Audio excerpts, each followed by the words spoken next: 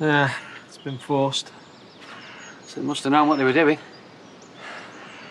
Maybe last time was a trial. And this time they made sure they got it right. Can't be very clever though, can they? Stealing broken cars. What's the point in that? Well, maybe it's not the cars they're after. Maybe this is a message.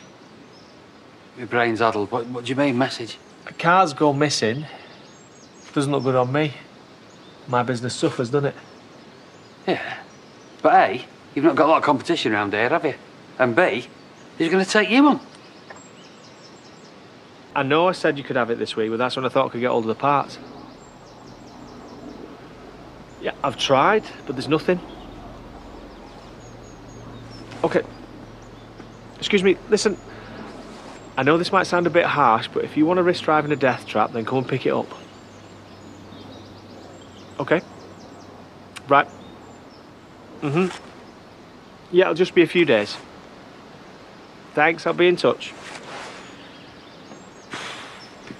You, uh, sure blagging the customers is a good idea? Just biding my time till I can work out what's going on. When the cars turn up abandoned and the police are knocking on the owner's doors. Well, we better find them then, aren't we? So we can forget that pint and start driving about. What? You want pain, don't you? Like I said, state those cars are in, they can't got far. Hey, hard at it, I see. Business must be on the slow side. Couldn't happen to a nicer guy. What's that all about? Just winding me up, that's all. He's lucky I don't wipe that smug smile off his face. I'm give him the satisfaction. Obviously got nothing better to do. He was round the garage before acting all smart. I thought he was looking for you. First I heard. Too busy trying to figure out what happened to them cows we had next. And you don't think that's a coincidence?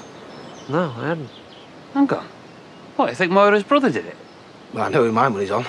Seriously? You reckon be daft enough to do something like that? And the one way to find out, you ask me. Well, if you're right, he's just made the biggest mistake of his life.